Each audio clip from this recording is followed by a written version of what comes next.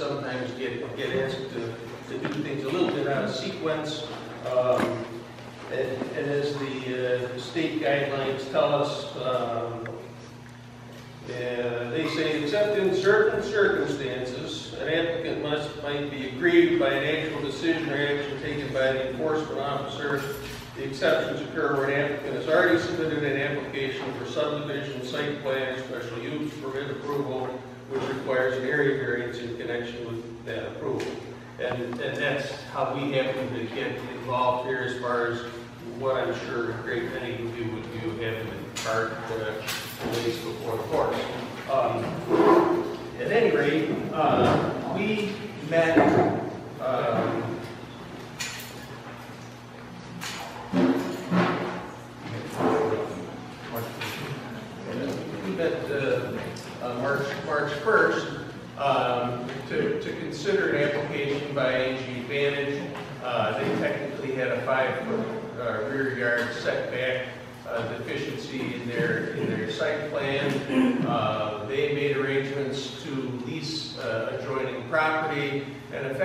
by, by of that lease, uh, cleared the, cleared, cleared the adjacent setback line variance circumstance.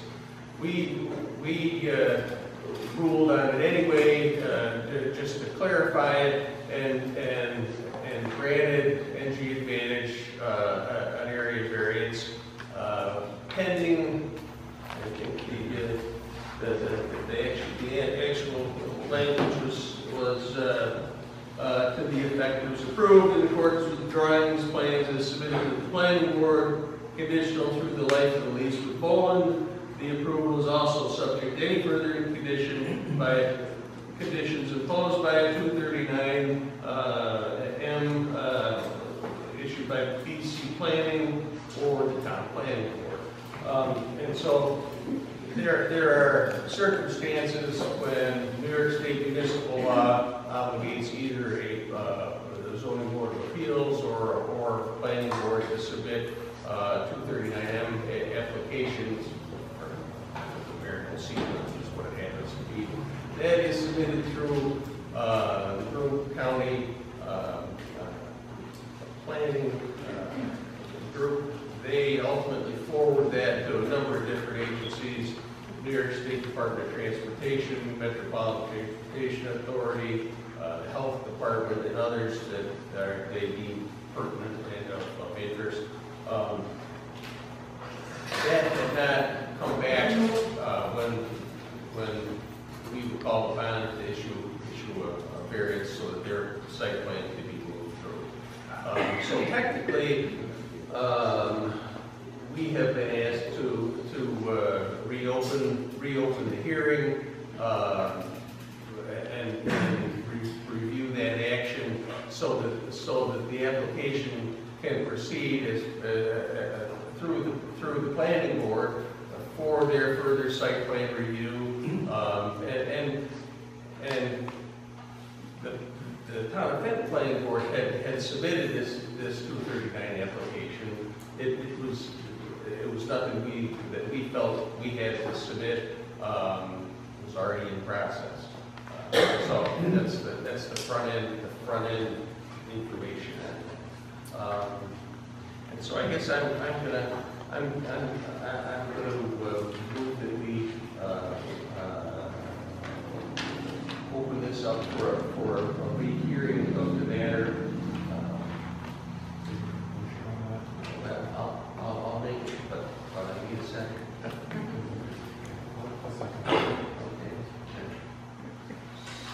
Mr. Brown? Aye. Mr. Moore? Aye. Mrs. Cook? Aye. Mr. Whitell? Mr. Gregory?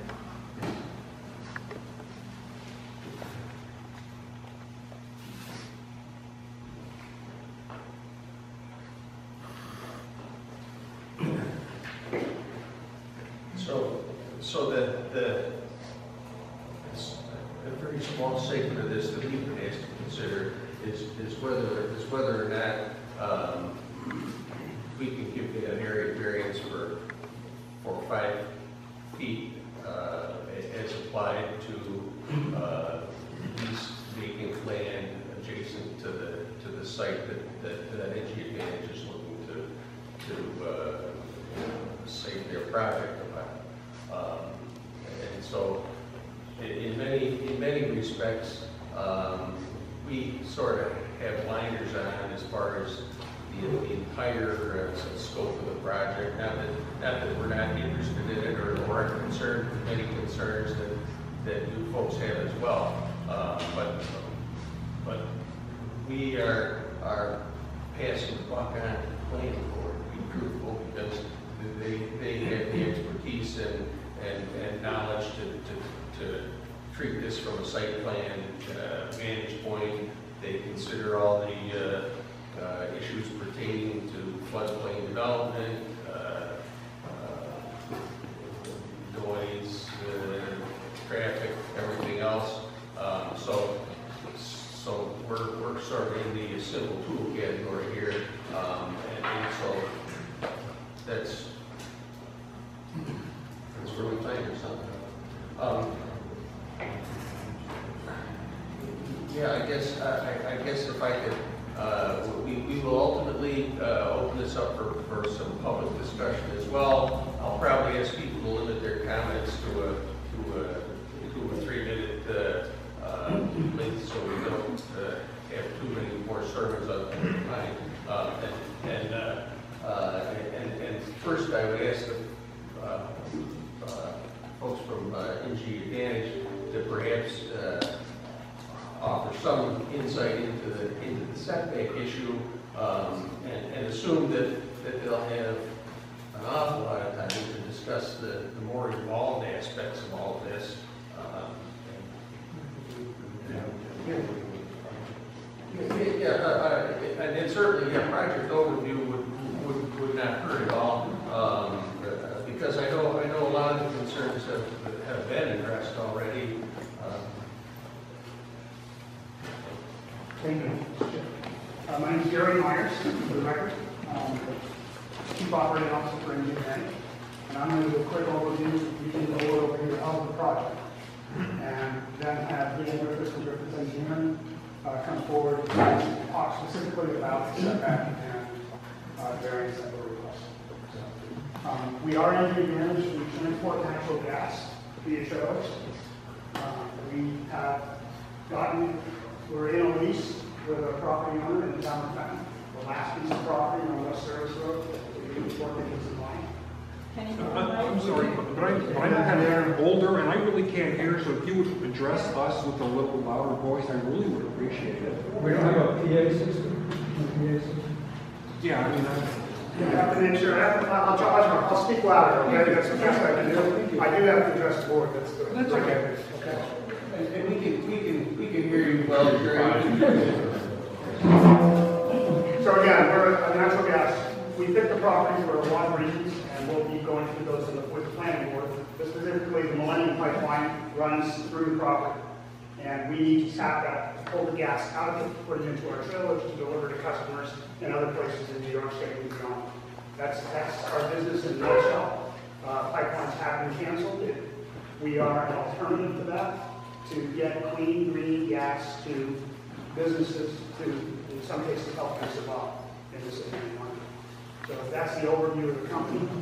We plan on putting a number of compressors go through the pipeline, take the gas out of there, puts it directly in the truck, the truck leaves, when it's empty, it comes back and goes refilled. It really is a trucking terminal, no different than going to a warehouse and filling it up with furniture. So that's, that's the operation. Again, very only this here is a setback, our equipment, but we were running out of room, there are lots of wetlands, there's a lot of things to consider, we cannot go into the pipeline right away.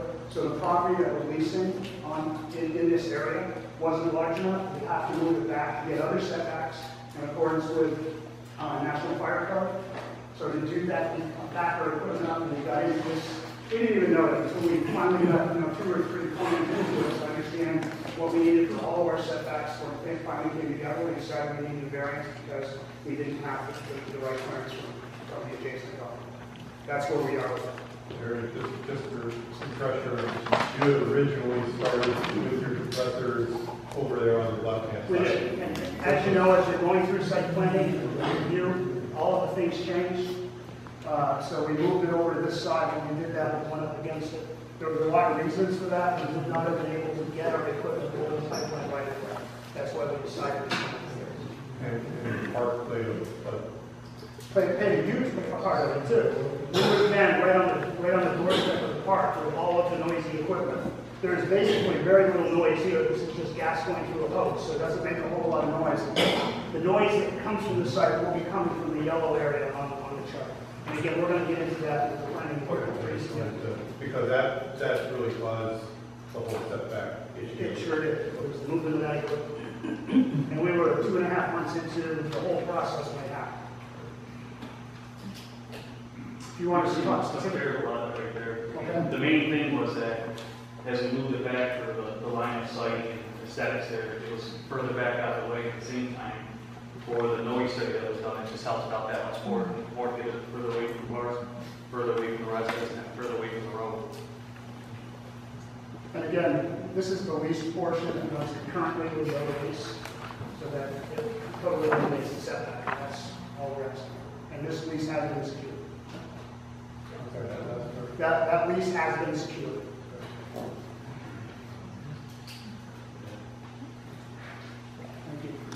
Can we ask questions? Yes. I'd like to know how many compressors are there? How many compressors are you planning to build on the property?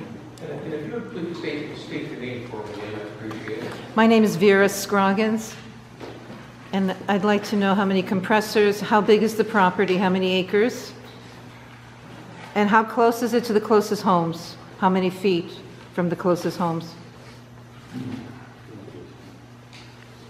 Again, do you, do you want us to address, I- I'm gonna, If you, if you would be so kind as to, at least, briefly, you know, I, I would, I would imagine they can get into more detail a little bit later, but, uh, yeah.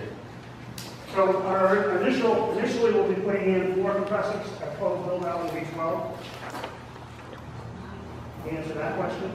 Um, Go ahead. Could you, what was your? Uh, So you're going from four to 12, and what time period will you have 12? Uh, Hopefully in the next 18 months, if everything goes well.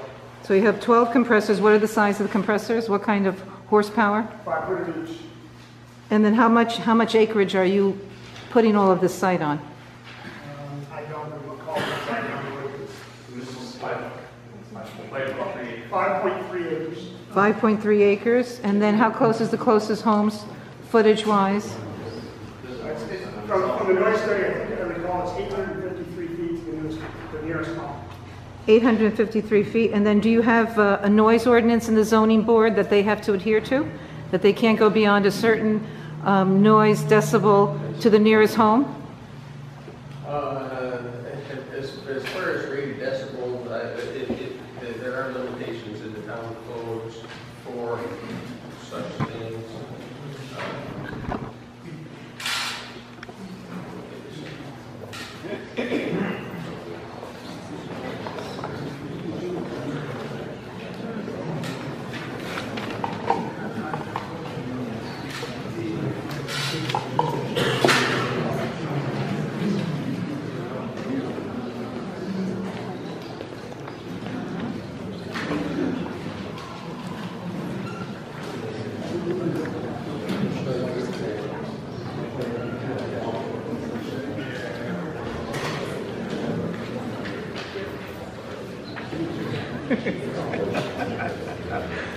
Most of the, most of the town codes re- refer back, back to other principal segments of the code.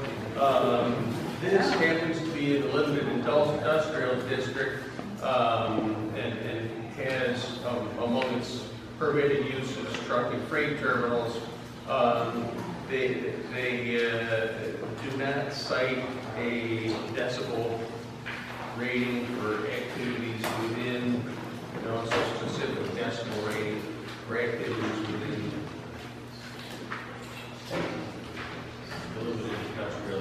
So you're saying there's no noise ordinance for this area?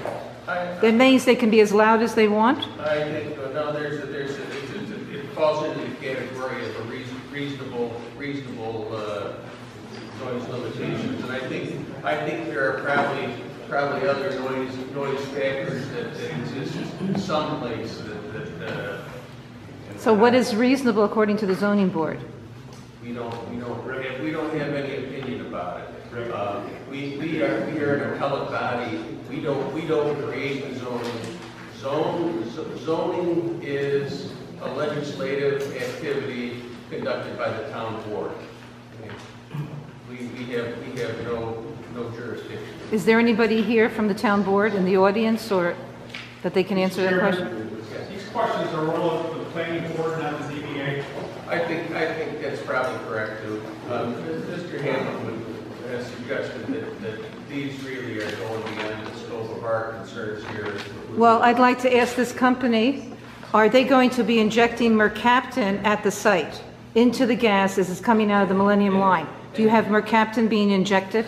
And again, you're, you're also running uh, along towards the end of your, your two minutes, man, but, but, uh, but, but, uh, we, we did, we did, uh, as, as early on as a, as a conversational piece, uh, yes, they will, uh, you will find ultimately in their discussions further with the planning board that they've engaged a, a company, uh, with their compression equipment and, and uh, whose specific interest is in, uh, odor abatement and, and that sort of thing.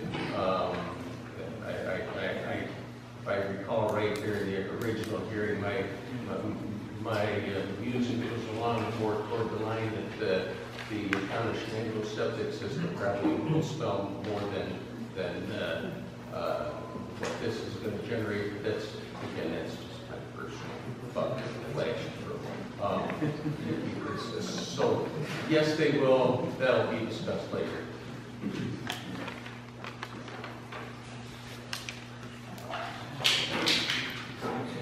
Mr. Chair, just so you know, we will be addressing that. It was a very specific item in the 239. We've done a noise study, and we can address all of those.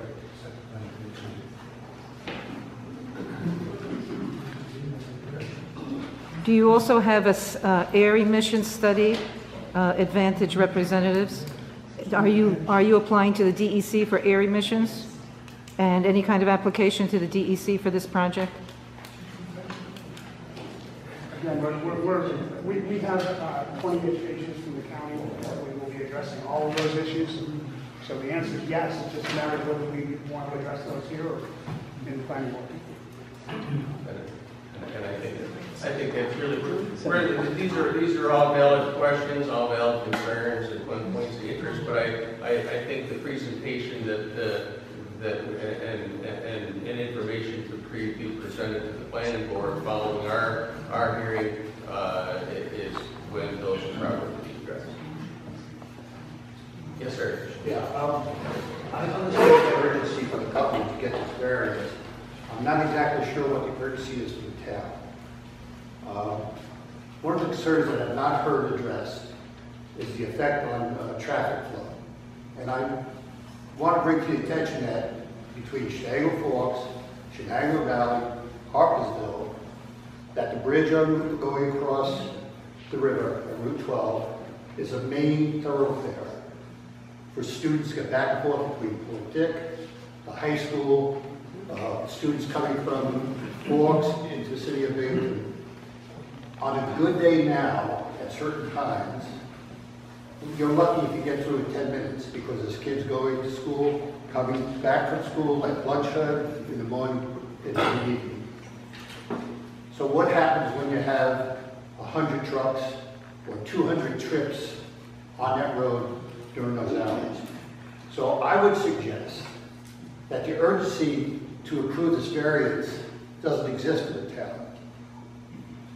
That in fact, we should think about and look at the implications to our students and to the traffic, because children will be delayed. Buses will have to start earlier, they will arrive later, and God forbid there's a problem with a tanker truck full of natural gas on a bridge with a bunch of school buses nearby. So I'm always suggesting that we hold off the urgency for the town and perhaps do a little more public investigation into the need for this and the wisdom of it. Name, sir? Your, sir?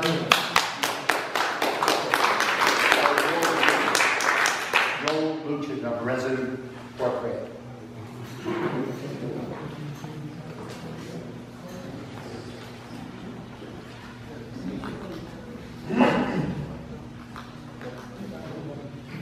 Anyone else? Yes, sir. Emmanuel Bevilacqua from Franklin. Sorry, sorry. From Franklin. Okay. And and what was your name? Epifanio Pete Bevilacqua. Epifanio. Can I trouble you to spell that out for me? E P I F A N I O. Peter Bevilacqua, B E V I L A C Q U A. Isn't this in a floodplain where it was flooded in 2011? Why would you want to put this there? Uh, you darned if I know. Uh, I'm, I'm not, it's not my project. Um, Usually you don't even put a house near The, flood the, zone. uh, at, at one, at one point, uh, even, even the area where the pipeline went through, uh, was, was considered for fill, and, uh, and, and, uh, and, and- and we denied, denied that as far as, uh, uh, well, actually, what we did was supported, supported the position of the code enforcement officer, who, who, because it was a floodplain, uh, wouldn't let, uh, the the folks that, uh, uh, who's kind of find, find repairs, uh, fill in the area. Um, and, and so we were aware of the fact that this generally encompassed the floodplain. Um, actually, by the, by the time, uh, the pipeline went in, uh, that, that area wound up getting filled in just a little bit anyway, I think. Um, but, but, uh, again, our, our concern, uh, was not, not based on, on the fact that the project was sited within a floodplain. That, that again is a, is a uh, hurdle that, that is posed to the planning board. Um, and there are, there are a number of considerations, uh, both with the DEC, um, the, the, and of course, for Broome County Planning, uh, echoes those concerns as well. Um, it, it is, it is, floodplains are of vital importance, um, and, and of course, filling them is, is, is, uh, is problematic. Uh, and, and what happens is that there are, as as we found out in another matter that came before the board not too long ago, uh, there are hy- hydrologic and, and hydraulic tests HEC-RAS studies that can be performed where, where, uh, fine, fine minds uh, in the engineering realm get together and understand what the net effect is as far as water in, uh, water out, and, and, and, and net, net fill, uh, uh, gain, gains and loss, and how it affects water level, and how it affects the floodplain, the ability of the floodplain to work as, as you might hope it would. Um, so those, those are concerns that, that, that have been pon- pondered by better minds than mine. Yes. And on top of it all, we know that here at North Crane, the hill went down during that flood also. And you have a train above. it. Correct. I have a grandson and daughter and and son-in-law that come up and down I-88. If I see something happen to them, believe me, I will sue everybody on every town board and the company, big time. And I want this on video, so I will do these lawsuits when I get in. Well, I would say that's certainly your prerogative. Um, You know, there are an awful lot of activities that we all face on a daily basis. and- Plus, I want I want to add one more thing. These companies don't care about residents or citizens or anybody that drives up and down the highways. They have drivers that we caught this week going through red lights, and it's on the emails. And I want the News 12 to put that on from Bill Kitchen that he's seen this. And he's not here tonight. Again, I, I would say that, that, uh, with my, uh, relatively limited dealings with NG Advantage, they seem to be a, a company that, that, that- that is concerned with, uh, with resolving outstanding issues that have been presented. They seem to be an organization that's, that's, uh, uh, certainly got a track record of uh, installing such facilities in, in other areas. Um, This is their first uh, compression facility, and so um, the the information that we reviewed on, on their operation the first time around seemed to be comprehensive, well-reviewed by others, and, and, uh, um, beyond, beyond that, I, there is a limited amount of risk in, uh, in, in many things, and because of the nature of the material, there's, there's certainly a heightened degree of risk with this. There, this is also a highly regulated, uh, field, and, and- and one which has a lot of people that watch it, uh, including folks like yourself. Um, Yes, sir. Oh, I just had a kind of a procedural question. Will the planning board allow for public comments or questions of the applicant uh, prior to their decision? That is up to the planning board. How Okay. they conduct their meeting is, uh, is, is, they, they, this is a public hearing, um, theirs, theirs is a meeting. Uh, They, they may, may or may not uh, take that on as a social chat opportunity. Thank you. So even though my question is not re- completely relevant to uh, the scope of your uh, decision today, I'm wondering if I could ask the uh, applicant a question. Okay, so my question is, um, we have another operator in Pennsylvania called XNG in Forest Lake. And they have two compressors, only one of them is running, and they're already doing 50 trucks a day from one compressor. So if it scales up, what's 50 times 12? That's 600 trucks potentially coming from your facility. That's a major concern that I have if it scales the same way. So, but my question for you is, what we've figured out that XNG is doing, XNG sold the project as the same way you're selling this one. Uh, that is to say, that, oh, we're going to be taking this gas and we're going to be de- uh, delivering it to local customers. What they're really doing is they're really implemented a virtual transmission line to get around, like this gentleman, who was the one that gave the, you were, gave the presentation before, yes? So you said, we can't build, we can't build these pipelines. You're right, because the people don't want the pipelines. So now what we found that XNG is doing is they're delivering, they're taking the gas from the production fields in Pennsylvania and they're taking it up to Mannheim and they're injecting it onto the Iroquois. So what I'm asking you is, do you have, do you really have local customers that will support 12 compressor stations worth of trucks, uh, leaving this 600 trucks a day? Or is your plan, in fact, to take your gas and run it up to the Iroquois or some other uh, pipeline and inject the gas into a transmission line? That's my question. The answer is yes. We have an intention to do that as well. However, we've got three New York-based customers as we speak. We are hiring tomorrow, hopefully, a salesperson from this area to sell gas to local customers. So, but I'm not gonna lie to you, yes, we have, there's money to be made. It is a way of getting gas to people who need it east of here. Not gonna lie, to that, that's the truth. And I've always, we're always gonna be truthful with it. And where are you going to inject it and what, what I don't, I line? don't even have it, we don't have a place yet. And That's why it's a future plan. We've never done it. We've never done what you, what you described. The base business is for industrials and commercials, facilities. Any facility or, or, or region that doesn't have access to pipeline natural gas is currently using fuel oil, coal, or propane. You can spare me all that because I, I know. That is our customer base. You know, that's the, those are the customers in which, That's what you're- in which we're supplying today. And that's the customer base that our base business will be based on here out of Binghamton. That's what XNG told us, and we found out it was a lie. That's Well, they do have customers also. They have local customers. The vast majority of their business is, is production to pipeline. They're not delivering it uh, in quantity to local businesses. Okay. Thank you. My name is Becky Smith, and I live in Chenango Bridge. I just have kind of a twofold question. I know all of you, you know, have gotten on the planning board because you're, you want to see the betterment of the community. You want to make this a welcoming community. You want to make it a safe community that people want to move into. And so I'm really wondering, what exactly are the benefits to this community to have this come in here? And secondly, nobody wants accidents to happen. I'm sure you guys are trying very diligently to make sure there aren't any accidents, but we all know, every single one of us knows there are oil, there's spills, there's explosions, accidents happen, and no matter how well we plan for them, they, they happen. So what would the planning board, what plans do you have in case there is an accident? How are you going to safeguard the health of the people that live near there? And, it, it, so there's two questions. How is it going to better the community?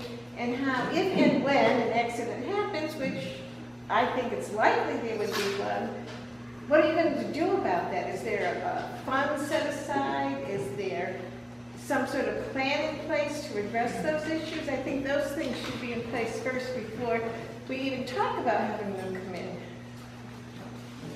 Well, That's a, that, that's a worthy concern, again, we, we're at the zoning board of appeals, not the planning board. Um, and so I'm, I'm sure the planning board considers such aspects of, of every, uh, application and, and every project that's, that's, uh, that's considered. Um, That's, that's their end of the street. But what is the benefit going to be to the people in the community to have this here? Uh, To, to, to some extent, I mean, I, I burn fuel oil, I, I'm, I'm not, I'm not happy to get natural gas, I love natural gas, you know, when I, when I was a kid, uh, there was a, a green meter that had gas coming through it, and I, my parents never had to worry about whether they were gonna run out of fuel oil or not. Um, but, but I'm not gonna get natural gas. Um, and, and so, uh, somebody, there, there are customers who desire natural gas as, as, as a superior means of fuel to, uh, to coal, to oil, to, to what they have in terms of, uh, combustion and, and, uh, and cost and everything else. But that's, again, that's, that's not our, that's not our, our, our concern here at this one. Yes, sir. Greetings, I'm Walter Hang. Thank you for the opportunity to uh, speak with you tonight. So I urge you uh, and request that you take no action on granting any variances uh, with all respect to the proposed project. Um, So as you can see, I just basically generated the environmental database report for the proposed site.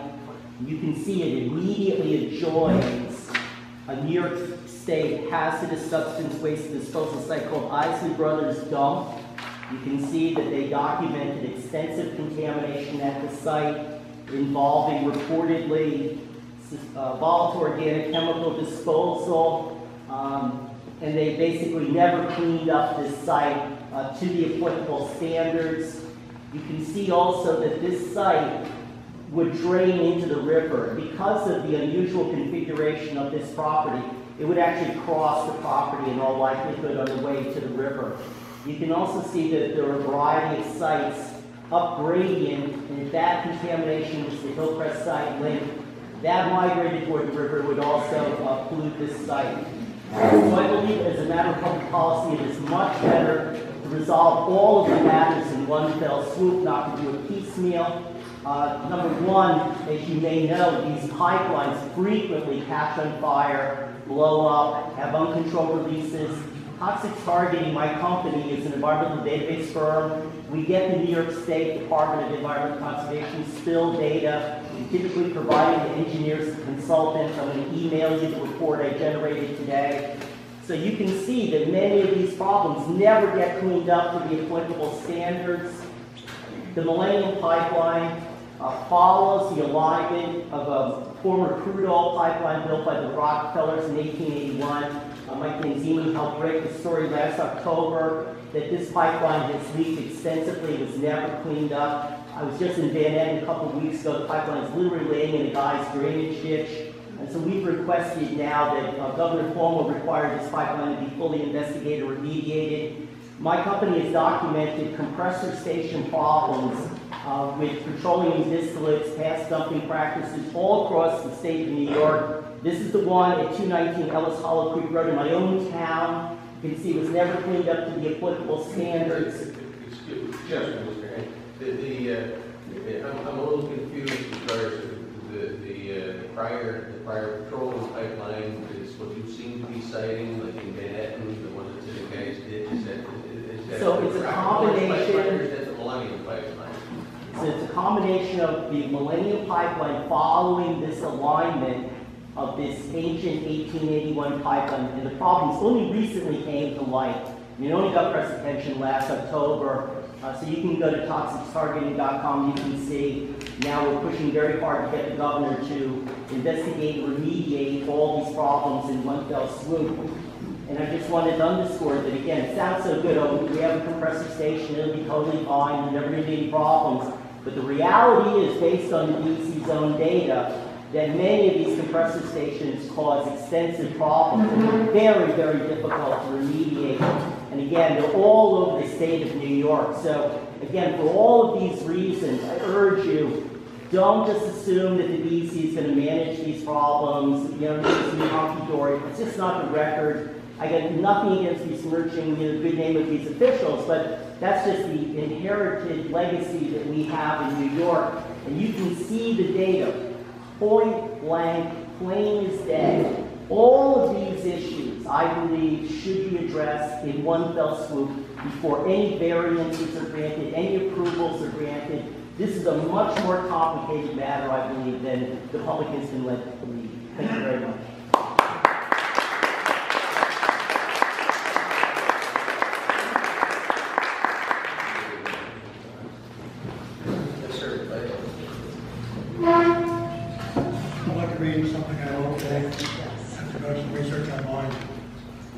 Today, Governor Cuomo announced a new microgrid power plant to be built and independently operating in the 98 acre state plaza in Albany.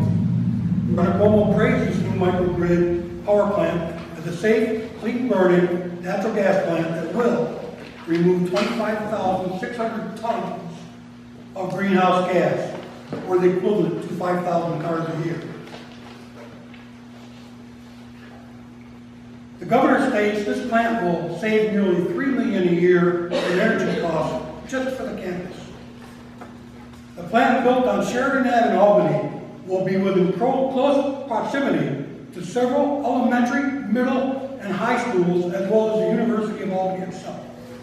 I ask this board to consider and question itself, if natural gas infrastructure is safe in Albany, then why not here? It is my understanding that you have all the information you need to determine and make a decision based on the facts and planning and presentation from this company. I read the concerns of the opposition, and I recognize them as the same concerns used to stop natural gas drilling in New York. Truck traffic and children. Where is that concern in Albany? No hearings. Every day, hundreds of trucks travel up and down this highway, past our schools, every single day. Few more, whether it be hundred or six hundred, isn't gonna make that much of a difference.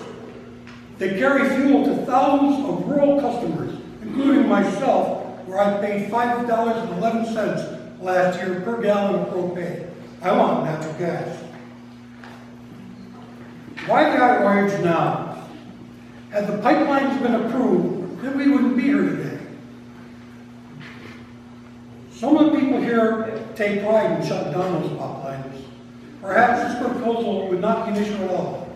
What would you do if the fuel you were denied or the cost became so high you had to go without? I listened to the mayor of Port Crane talk about truck safety and safety. And I also listened to the company on the radio. They both were on the Bob Joseph show. And if you listen to both shows, the mayor had some legitimate complaints or concerns, not complaints, concerns about safety. And if you listen to the company on the, the CEO on the Today Show, which was at nine thirty or ten thirty this morning, ten fifteen, I believe it was, they talked and mitigated every one of the mayor's concerns. Uh, how they're gonna, uh, people are talking about fuels. It's gonna be an enclosed, uh, facility. It's, it, it, they're gonna be capturing everything they put out. Uh, I listened, the noise levels, according to the company, uh, CEO that talked on the radio today, the noise levels are so low that they're not even a concern to OSHA when the plant opens up. They, they said that, uh, hearing protection will be optional. Uh, also, the planning board has the ability to put a noise ordinance in place prior to the building being built, just like they did in Windsor on that compressor, uh, compression station in Windsor, New York. Uh, All I see are advantages. Traffic means customers to our area, to our stores and our restaurants. 150 new high-paying jobs, from what I understand, is going to be close to $10 million annual base salary a year. Right here in our community, ad valorem taxes to our community will give relief to the taxpayers here already. I ask that this board, I'm sorry, read what I'm reading.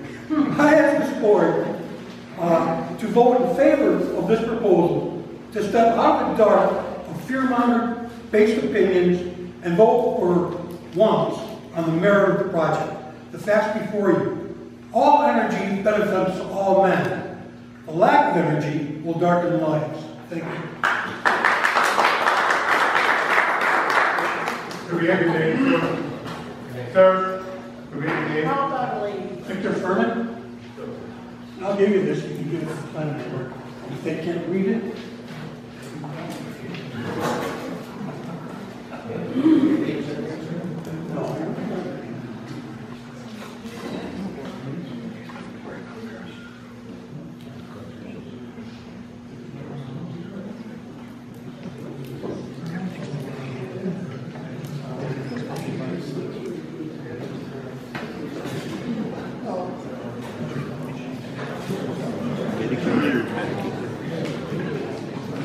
Yes, ma'am. Joyce Joy. Now, I understand you're saying that a lot of these issues are not things that you are controlling, is that correct? It's the planning board? Yes. Now, the planning board is having a meeting at seven, is that correct? Yes. Will that be open to anyone who wants to make a comment? Yes, it will. Okay, very good. are you on the planning? Now, I'm the chairman of the planning board. because, while this traffic and all that stuff, who's gonna be taking care of? Excuse me, who's gonna be taking care of those roads down there? Is it gonna be Fenton? Is it gonna be Port Dick? Are you gonna be paying for that? Are we getting anything back for that? Are the people going to get reimbursed down there, or is it gonna be eminent domain where they take their property, whether they want to sell it or lease it or do whatever?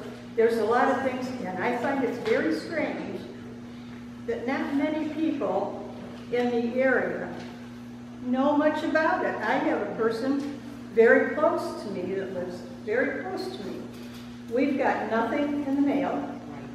We have got, if we hadn't seen the little thing in the paper uh, the other day, which first uh, I said, wait a minute.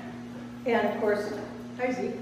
Uh, Of course, uh, the article today, we wouldn't have known anything about it. I find it very strange that since March and possibly before, that none of this had gotten out to us poor little people. Hi.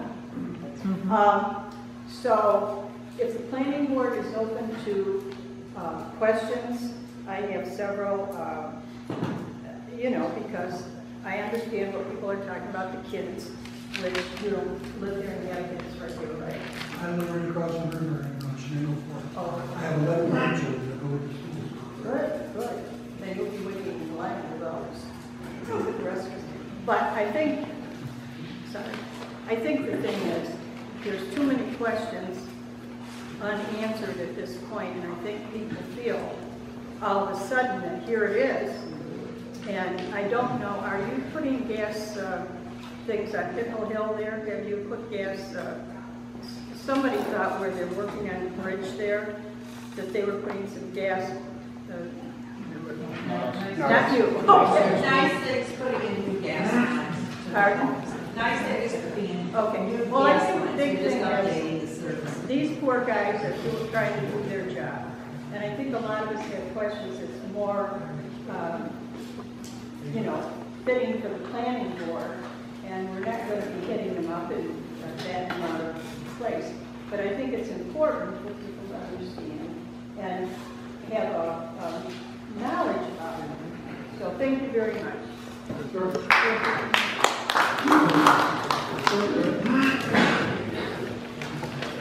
Excuse me, the, Ma'am, I, I didn't, I didn't get your name. Uh, Joyce Goya. My name is uh, Tim O'Hare, and I live in Hillcrest. This is an issue of quality of life. That's all it is. Didn't want to make money, and we have to suffer. That's the way it is. Uh, My background is a former school administrator. Safety to, safety at, and safety on the way home is the most important thing besides the education in- within the classroom. It's important that the quality of life for us that live in Hillcrest continues the way it is. I'm not against people making money. They can go out in a rural area someplace where it's not going to affect six or seven hundred homes in Hillcrest. You, you got Port Dickinson has already made it stand. And I give Mayor Burke a lot of credit for that. They're not going to driving their trucks through Port Dick. So what does it mean? They're going to be driving them up the service road. You try going through the service road at five o'clock. Four lights you have to wait through. And if you have these big trucks coming, it's even going more. How are they ever going to make those turns? It's a quality of life for people who live in Hillcrest and Port Dick, and you can make all the money you want from somebody else, not from us.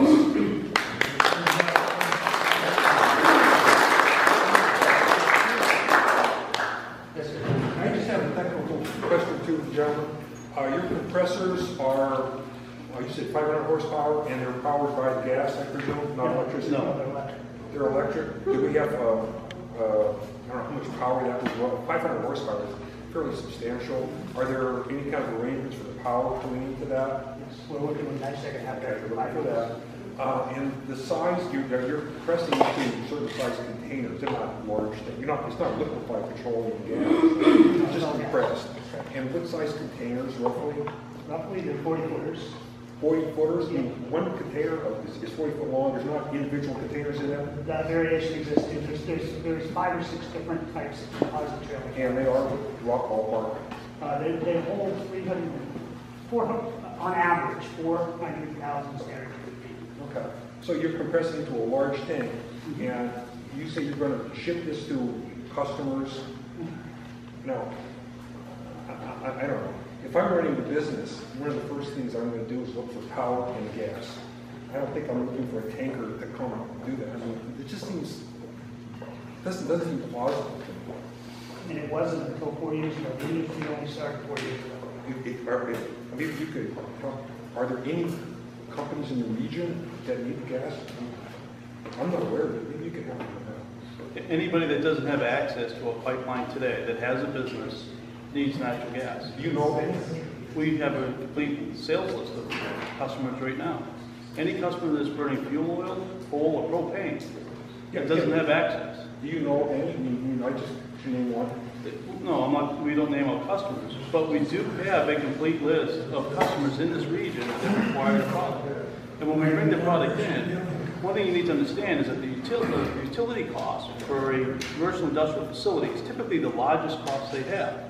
And anytime they can reduce that cost, mm-hmm. what that means is that company gets to stay viable and stay open. They can either, they can reinvest those funds back into that facility and then to recreate jobs, add expansion, and, and continue on the product line.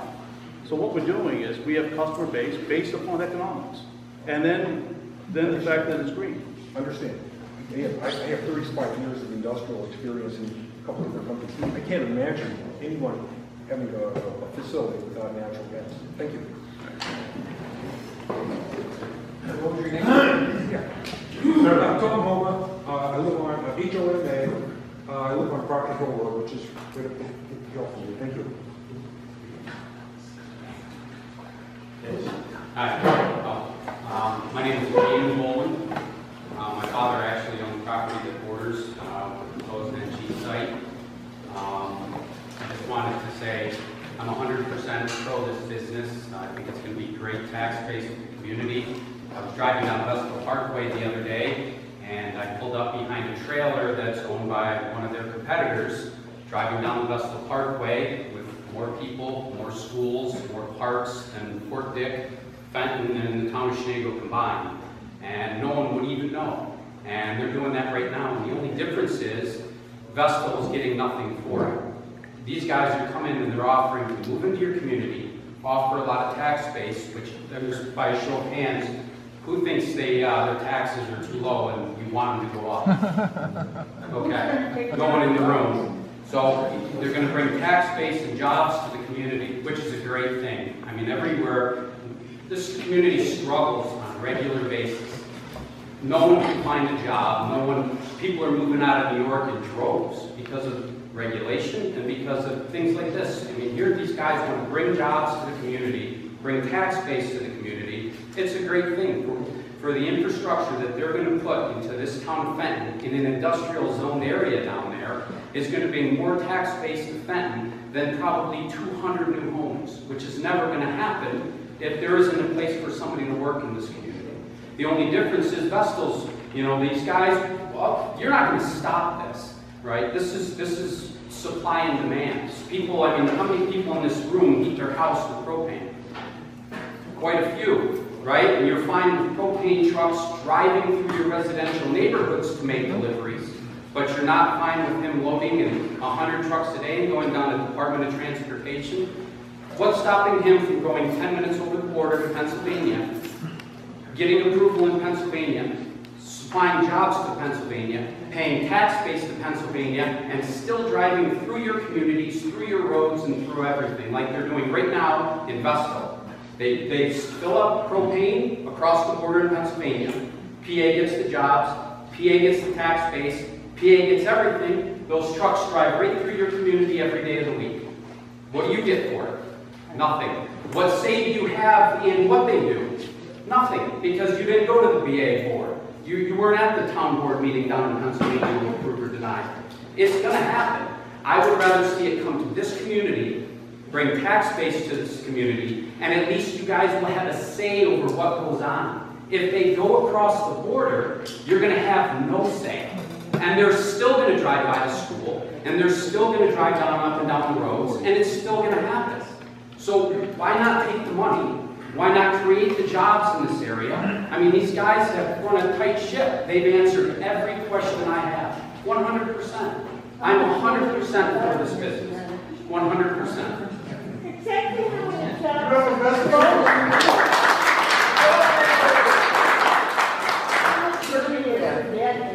My property is the property that borders this community. I live one mile over this hill.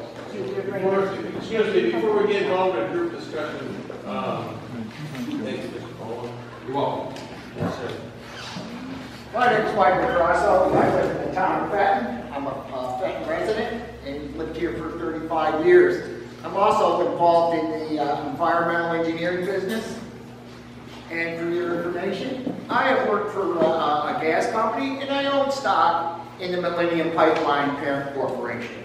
But you know, folks, fracking has been banned in New York State. It's next to impossible to get a gas, uh, natural gas transmission line installed in New York State. We've seen that with the constitutional pipeline, where fracking is banned here in New York. And the only way, you know, you ban fracking, you ban a pipeline, the only way to get the gas to the customers is to load it on a truck and get it to them. Yeah. So, that accomplished, now we have the truck. You know, the potential natural gas customers are burning oil. Foreign oil they're burning. They're burning propane. Propane comes from gas, okay?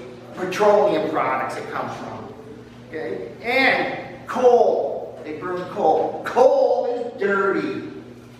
Natural gas is clean, okay? Now, uh, propane is oil, uh, fuel oil, propane are hazardous materials that travel through your community, as these folks have said, on the highway and on the rail. They travel down 81, and you have trucks hauling ethanol from Albany. Ethanol, clean energy that burns and you can't see it. Okay, from Albany to Vestal. And you don't realize, but trucks now are hauling compressed natural gas from down in Pennsylvania. And hazardous materials are constantly going through Hillcrest, they're constantly going through uh, Fenton, and they're constantly going through by Port Dick and the elementary school. Okay, they're going that way.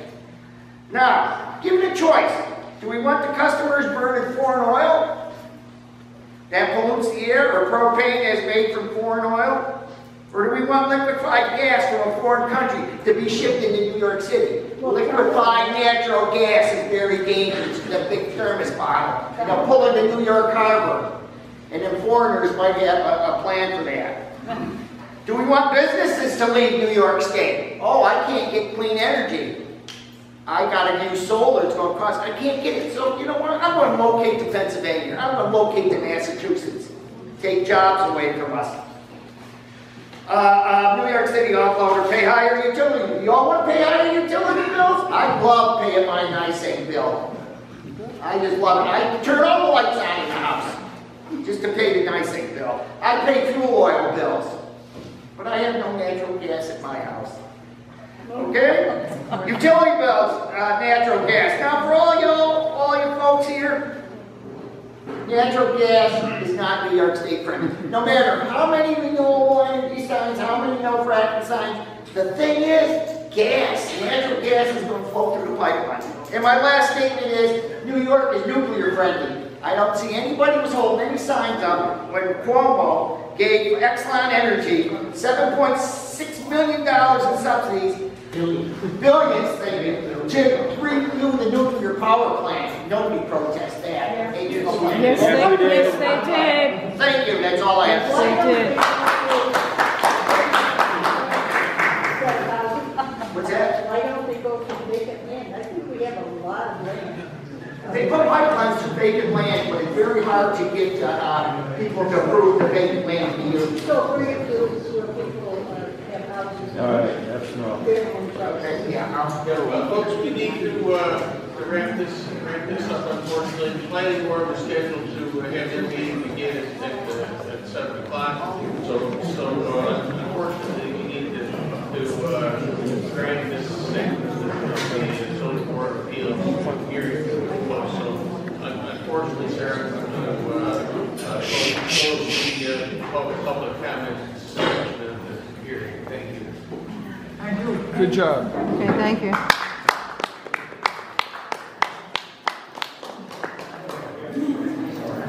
Mr. Chairman, I just, I apologize, uh, I'm Jeff Jacobs, Coughlin Gerhart, counsel for the district and, and the village. I just wanted to confirm, I'm not going to repeat my client's comments, uh, they've been submitted in writing, but I did want to just confirm that uh, the, the district's two letters, including the letter of today, are, are going to be in your formal transcript and, and proceedings, as well as the 239 comments you received, incorporating the village's comments will be incorporated into the proceedings of, uh, of the board. Yes. Thank you.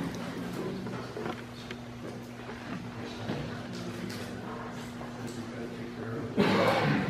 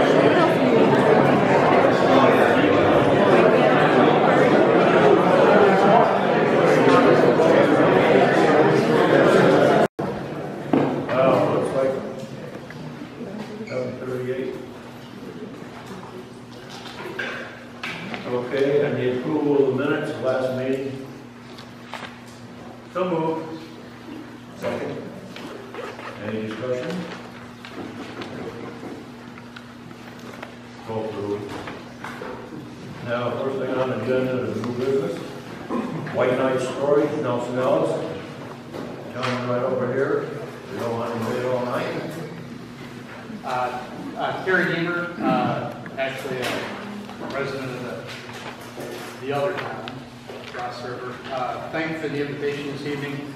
Uh, We're currently uh, investigating uh, a indoor and outdoor combined uh, temperature control, humidity control, uh, self-storage facility in the former Nelson Ellis uh, building. Um, propose a multi-use uh, facility as uh, Phil's Gift Shop uh, wishes to remain. We would love them to remain as long as they would like. Uh, The, uh, the building is a lot of history in the, in the town here. From what I can recollect, about 50 years or so, uh, they've been a fixture in the, uh, in the community. and um, We wish to, uh, to bring it back to its former glory and- and uh, have a lot of pride in, in the ownership and, and uh, take care of the property and, and uh, add to the value of the, of the community in which we all, uh, we all live uh, by providing uh, secure, uh, safe uh, storage facilities for our valuables, um, closing out those garages and attics and so on. Um, The, uh, uh, the facility would be um, a combination of, like I said, indoor temperature control and exterior drive-up uh, type of, uh, uh, type of arrangement. The drive-up uh, would be behind the building, way the property is situated. Um, So you would drive around the back and and drive up to your, your storage locker and unload, load, and so on. Uh, It would be fenced in, the back portion, the, the front would pretty much remain uh, the way it is, other than you know, we're proposing a complete facelift to, uh, to take care of the neglect that, uh, that it's, it's seen over the last few years, unfortunately, but uh, uh, I have, uh, that I share with the engineering department, I have some preliminary uh, plans and, and, uh, you know, the- the welcome to review and ask questions. Um, But we're looking forward to, uh, to starting a, a new business venture here in the town where we live. So, thank you for the invitation. If you'd like to pursue site plan approval, you will catch me on introduction.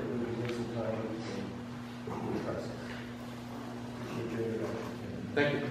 Okay, thank you. That takes care of new business. Old business is the Fenton Trucking Terminal, referred to as the natural gas compressor station.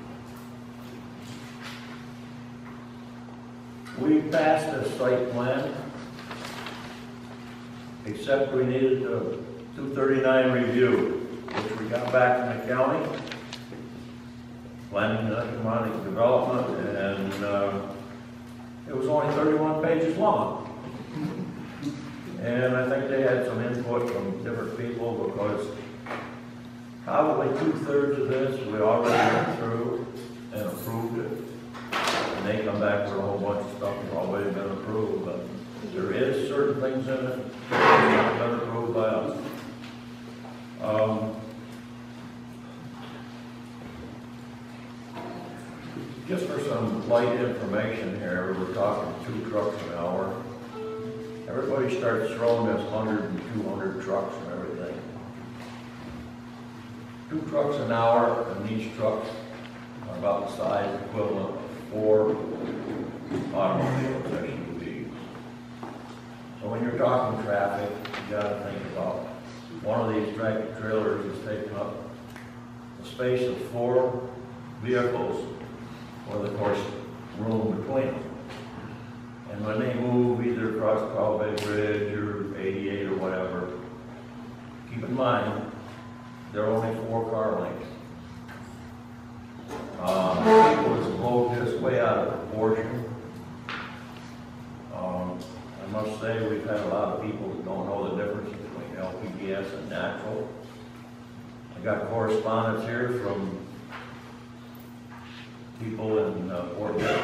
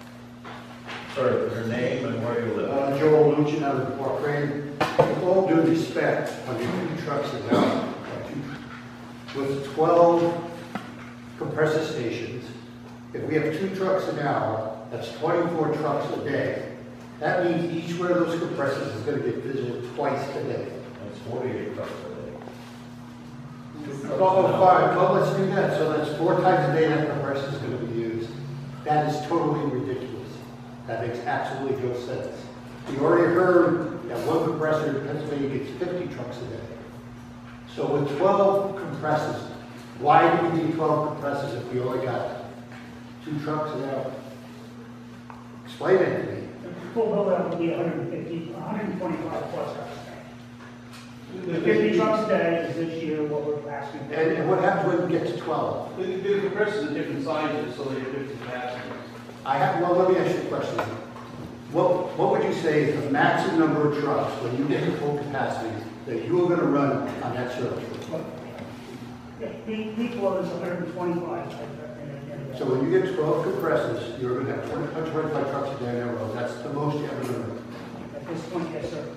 I'm not, don't qualify it, I'm asking you, you're gonna qualify at this point, I'm not asking at this point, I'm saying when you get twelve compressors up and running. Yes. When you're at full capacity. That's right, it's 125 trucks. So are you gonna tell us right now, you'll guarantee you'll never go above that?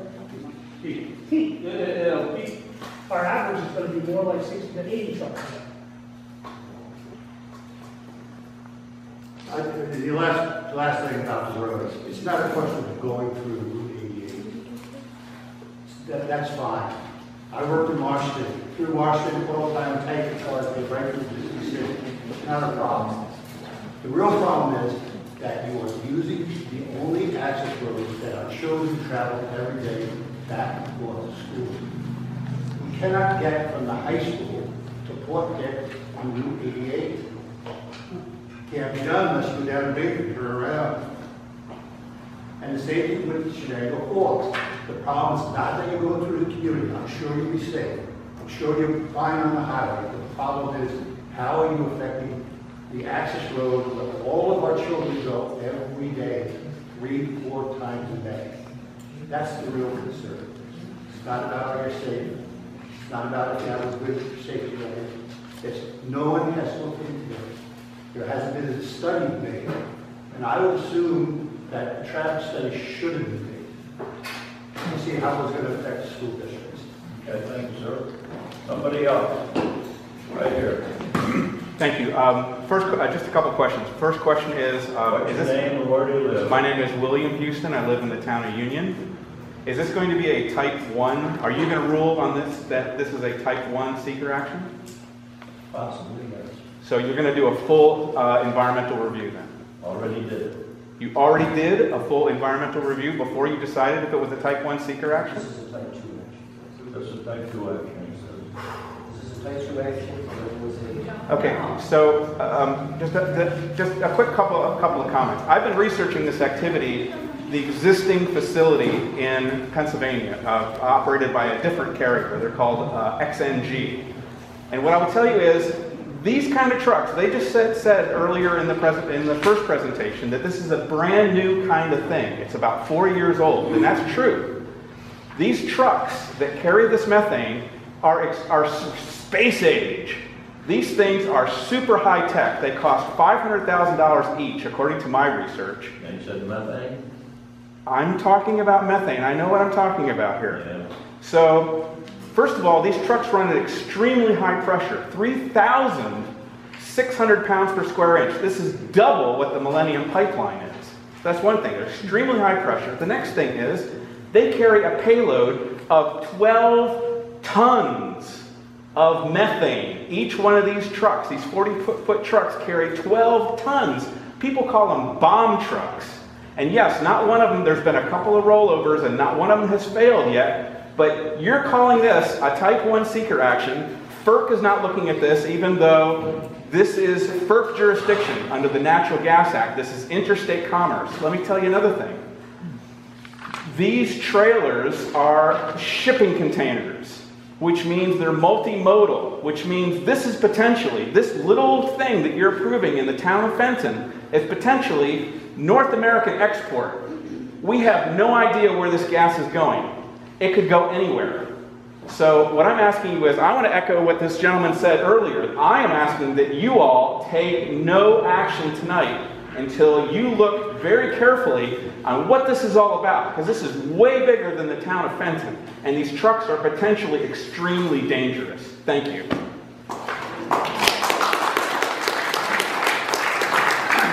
I thought those trucks were loaded with methane, they go through Broome County every day. We're not transporting methane, we're transporting natural gas. It's Methane compressed. is natural gas. It's compressed gas. It's compressed You should say gas. natural gas. Methane equals natural gas almost precisely. You want to speak? Yes. Name and where you live?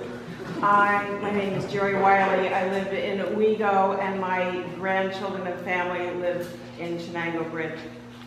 So I'm concerned uh, about the local effects of the, my, my uh, son um, drives school bus uh, as a part-time job. I'm concerned for that. I'm concerned about the grandchildren who ride school buses.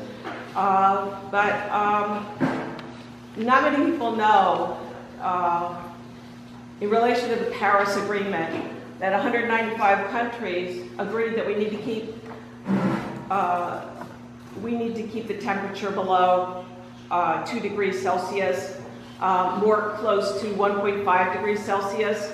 And in order to do that, we need to quickly mitigate and reduce and get rid of methane, which is essentially natural gas. Uh, We are going in Is there a question in this? uh, We're, we're running real late, man. We're supposed to start at seven, so if you have a question, we'd love to hear. I, I misunderstood. I thought you asked if um, there were any comments. Uh, So I'm, okay, so a question is to you, how is this mitigating meth- methane so that we can ramp down the meth, the, uh, buy time with the, with removing the methane in order to solve the CO2 problem. In other words, methane, I'll be quick. Methane being uh, over 100 times more potent a greenhouse gas than uh, carbon dioxide ramps our temperature, average global temperature quickly up.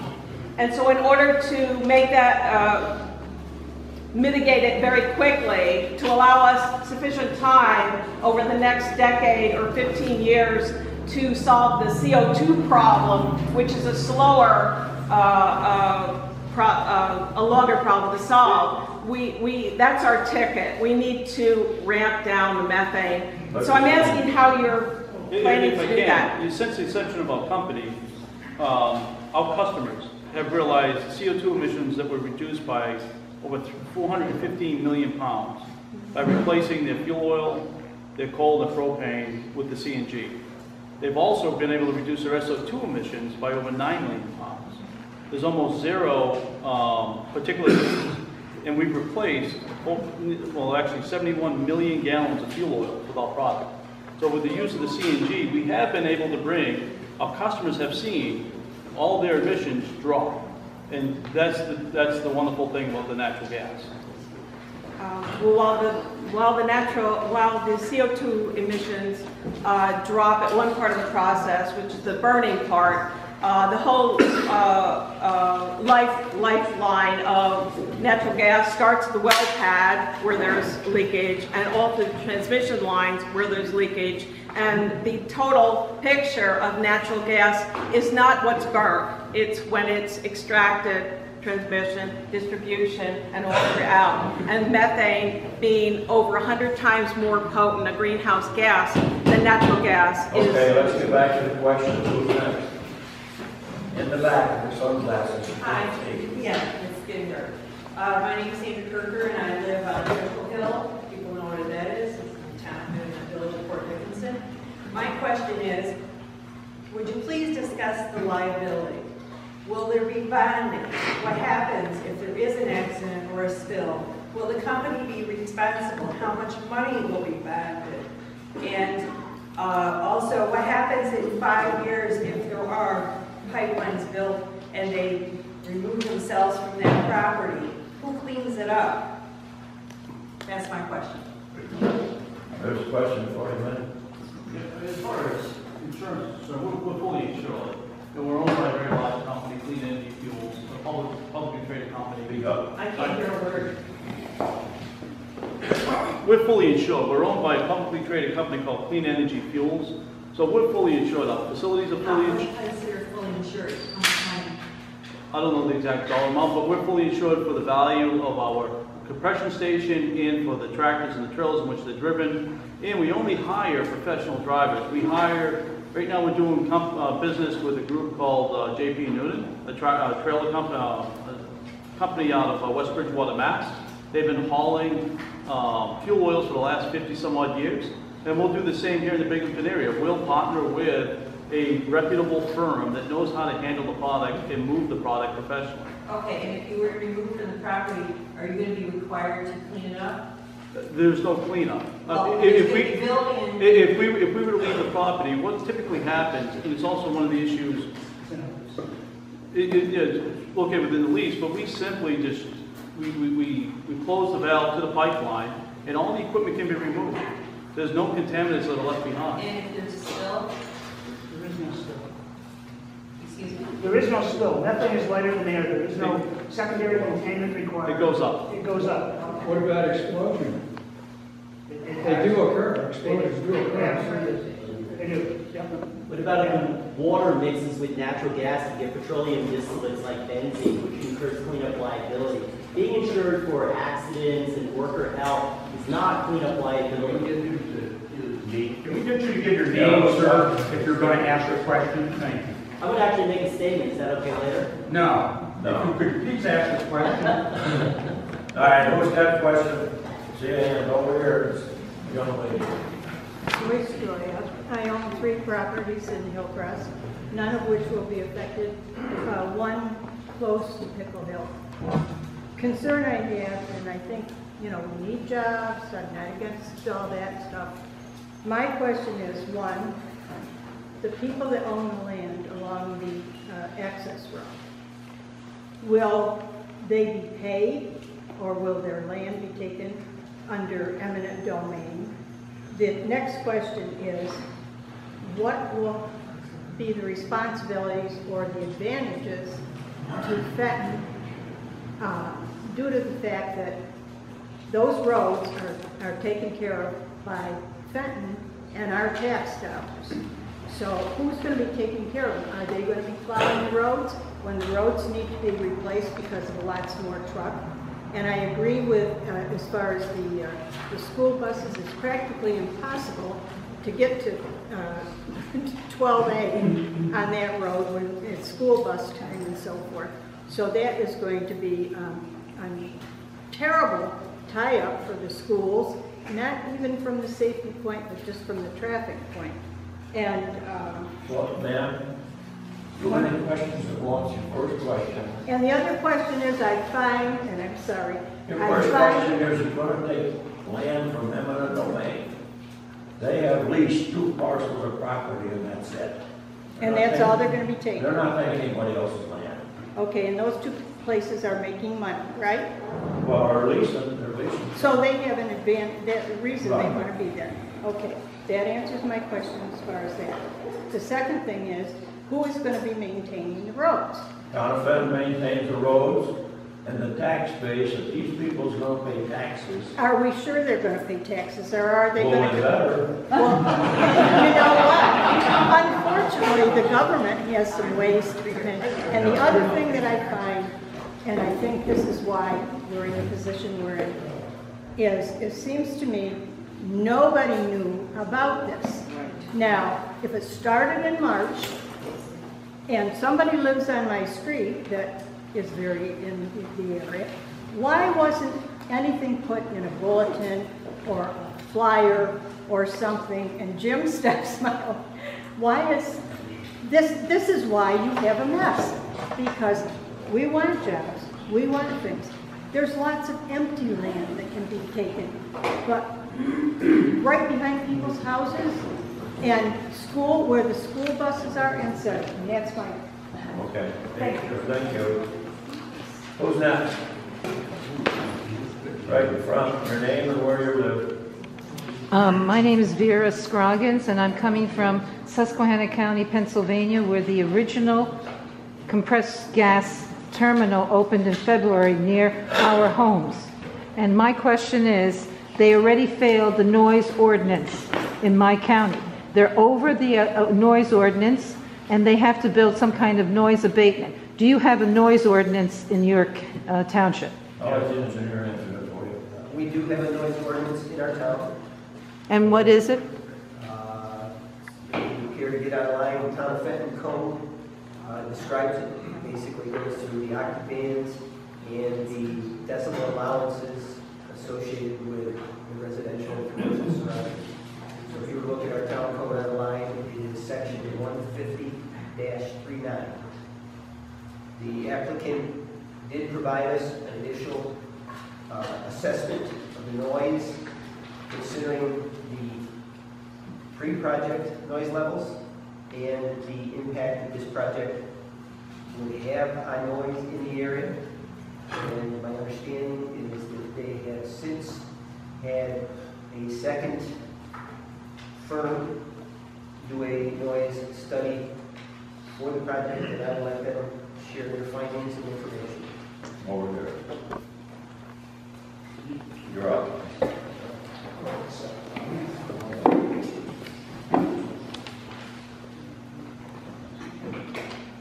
So we did go out and get a third-party opinion of the noise. This is a study, and you can read it, people can characterize it. I think if you go to the fourth, the last paragraph, there's a summary. Answer your questions.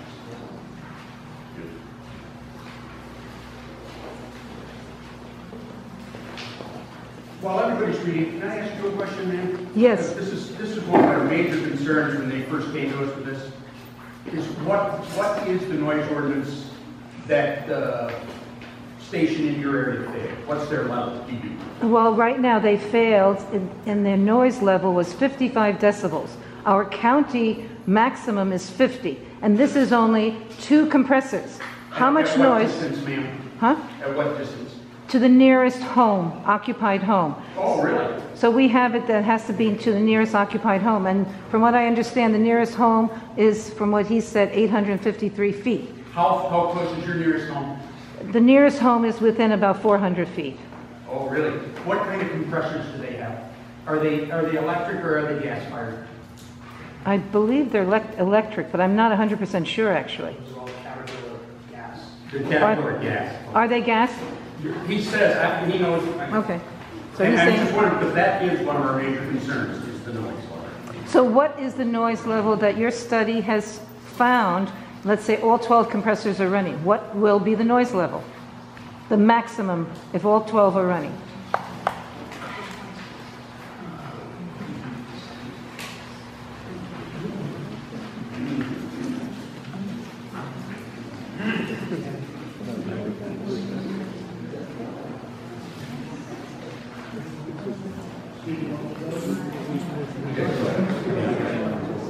The phase one with four compressors, nearest residential property line, measured nighttime noise, 49 dBA, measured daytime noise, 61, 65, and projected noise level due to compressors, 47. So what's the 61 you just said? That's measured daytime noise. That's from the highway. So, Th- That includes the highway and your compressors? Is that what you're saying? yes, this is the whole thing in summary done by a company out of New York City. For how many compressors? Four, that's four. That's with Now, four. for phase two, 12 compressors, the nearest residential property line, measured at 49, measured daytime noise, dBA 6165, projected noise level due to compressors, 52. Now, now the problem that we have too with the noise, when I go there, and when I also went to Mannheim, it's a continual sound. They're working 24/7, so we have noise that's going continually, this hum that you hear at 50 or what so decibels. They're cheap, no, because they got electric compressors. And that's the nearest residential line that was now to the park, the PEC phase one with four So it's- if you're, I know from the station, and I won't drag this out, because once again, we got to facility, but that is one of my major concerns, if I'm glad to ask the question. If you get out near the, the, the gas line compressor in Windsor, if any of you people have ever been near that thing, that's a gas compressor and it's very loud. These things, like I said, these guys are cheap, they're using electric compressors and you can understand, an electric motor driving something is compared to a combustion engine driving something, they can keep their noise low. Well, how would you like to hear 50 decibels from what they're admitting to, a 24/7, a continual hum next to your home? We have that in, next to our homes, and that's not a pleasant thing to experience. You'll hear this continual hum. I can't help you with that. It's, I I mean, I've got an air conditioner in my neighbor's side yard that exceeds that, but I understand. And then my other question was, do you have a air emissions, uh, any kind of ordinance for air emissions, or does the DEC handle that? Do they have to take out a permit for air emissions? Because our neighbors are smelling the mercaptan that gets injected into the gas. Some of it is leaking, and we can pick it up. So then what are you doing about that? Is there any kind of oversight on that? I don't think the town has anything, excuse me once again but I don't think the town has anything. We let the state and uh, the federal government do that. The problem we run into with, with smells, levels, et cetera, for a little town like Fenton, we, we don't have any, we don't have anybody to enforce it, to measure it, so we let the state do that. We've just done with outdoor wood burning fireplaces, you ever run into one of those duties? Yes, horrible. Yeah.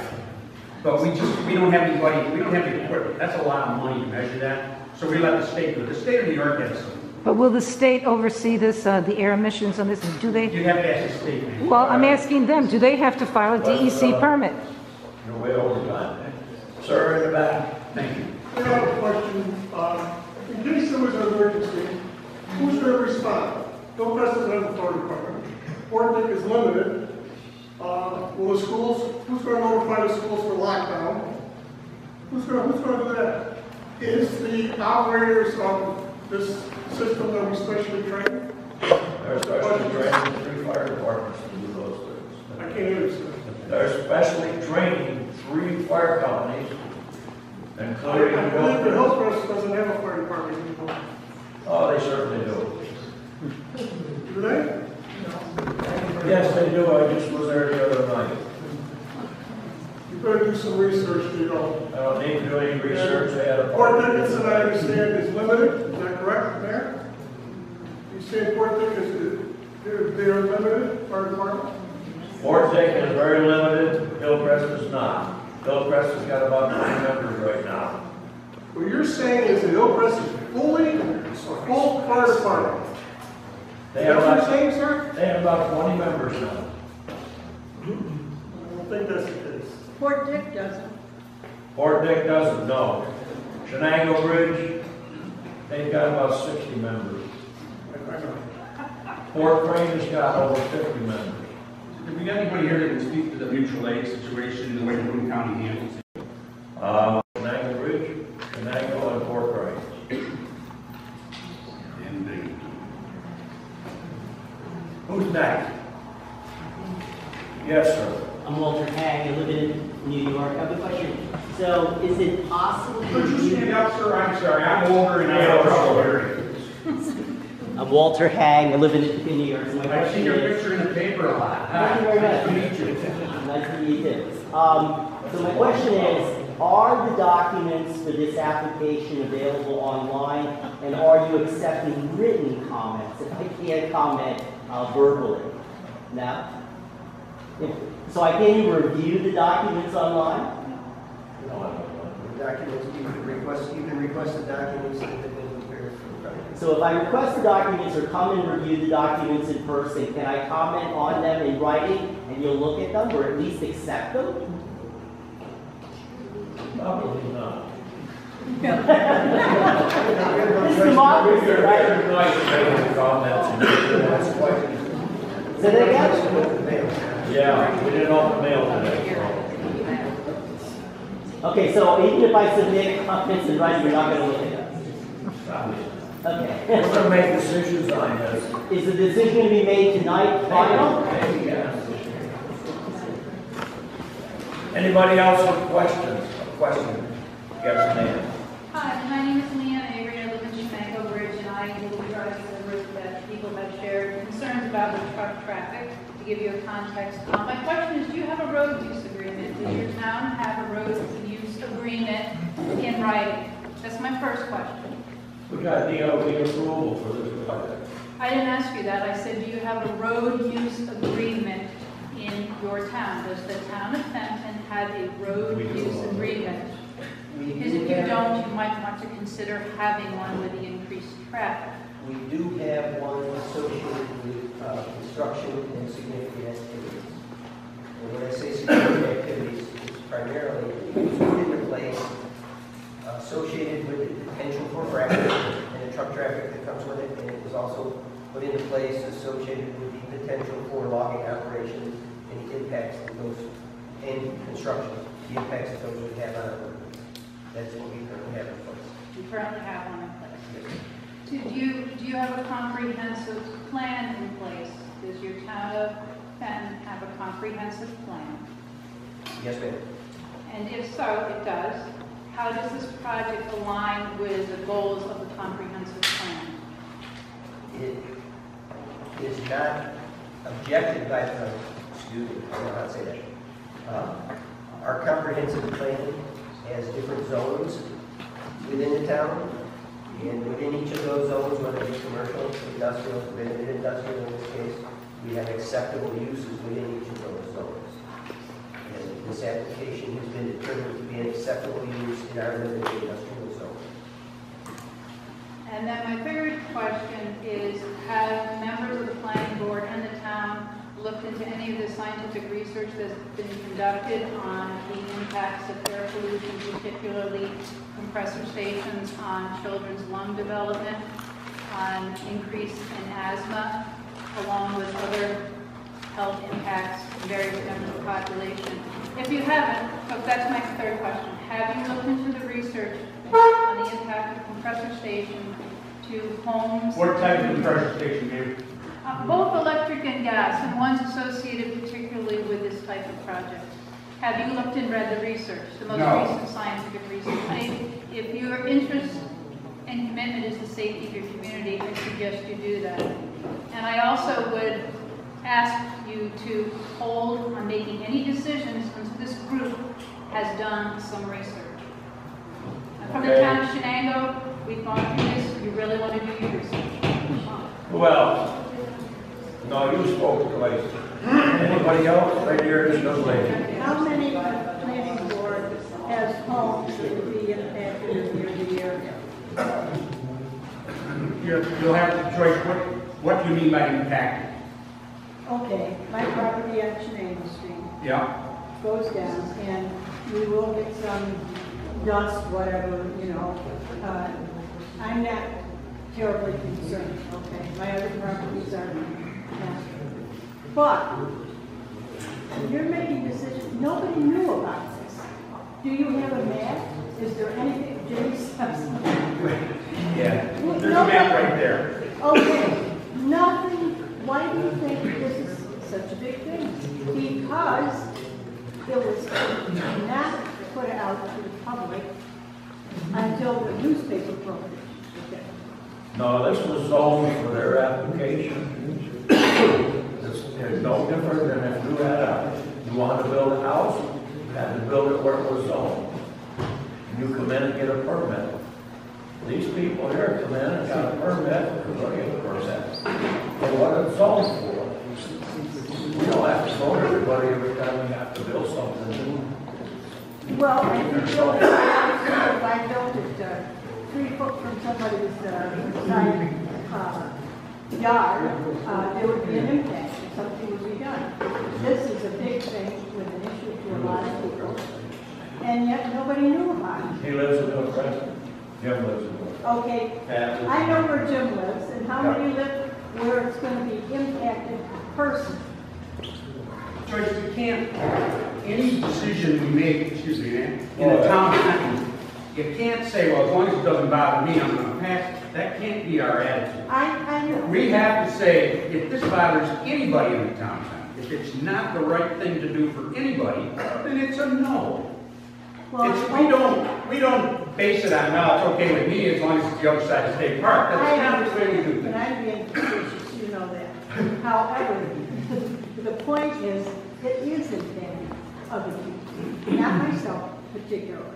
And I think the fact that people did not know about it, we should have gotten a bulletin out that this might be coming up, and what did the public think about it? That's all I'm saying. Careful, yours is coming up. Okay. Sir, with the glasses. Hi, thank you. Um, There's been some false choices presented, namely that there is this gas facility that would bring, be brought into Fenton, or else you have no development and no economic vitality. I submit to you that there are towns and counties around New York State that are installing solar. And uh, there are 11 towns in Orange County Mr. Chairman, can we get a question, please? I think solar is a great idea. I think that polluting the atmosphere is a terrible thing, but that's not the question. If you've got a question, please. I'd like to get all the way. I I just, uh, I, I have a very urgent request that you treat this as a secret one and that you mount a public hearing on this matter. Uh, There've been all sorts of questions that have not been asked and not been addressed. There's been, there's a lot of information that we would like to convey that you're telling us you don't have time to consider. But we have a lot of information. So let me. You have a question? Yes, I do. Um, Some questions. Do you have a metering system at this facility that monitors the amount of methane released in the transfer from the pipeline to the compressors to the trucks? Do the trucks vent? Um, Evidently, there's leakage. Vera can speak to that. In Pennsylvania, if there Can we is answer your question leakage now? there, there will be it okay to leakage answer your question? in New York State. Would you please answer the man's question for him? If that's all right. Uh, Sir, this is a completely closed system. There is no leakage. We have multiple emissions, our electric compressor, ammonia emissions. And yes, completely closed. Now, again, if there is a malfunction, and that's, that's all. we can do. A system on a daily basis, you have a question? Yes, I, I just wanted to ask that the planning board please do some more research before you pass this tonight. Because I think there's a lot of unanswered questions in this two thirty-nine. And I do not feel you have enough information. Listening to people here know more than a lot of us in this room. And I think there's an awful lot we need to know before this comes into this town. We have regrets in four or five years. Okay.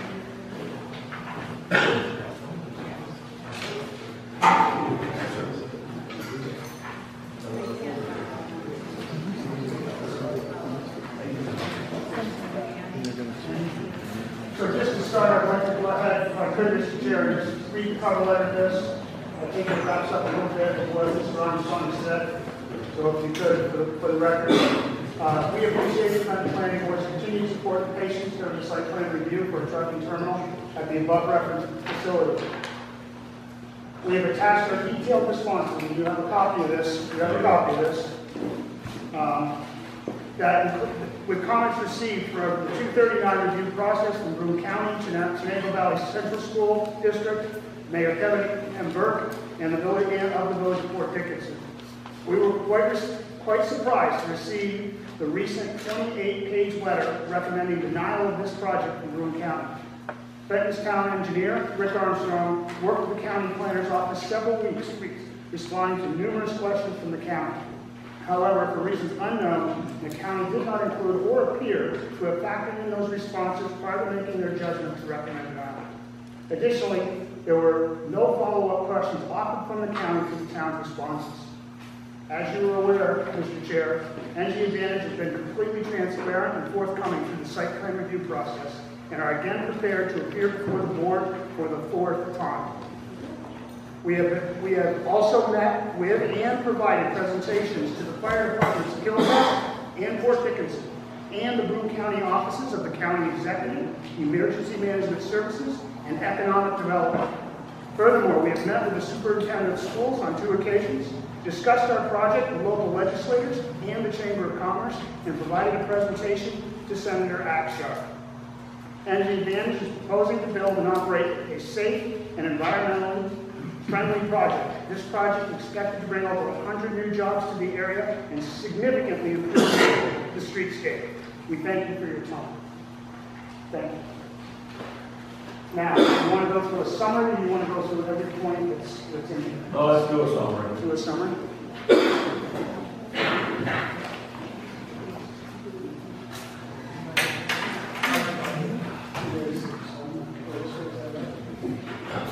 So, as we look at it, we've you know, we said some thank yous, thank you to the business community, the Bolins, Mr. Mayor Mayor Vito, uh, property owner, Mr. Ledoux, the entire board, um, and primarily to Rick Armstrong. This has been a tough project, and I know there's a whole lot of people in the crowd that think this is new.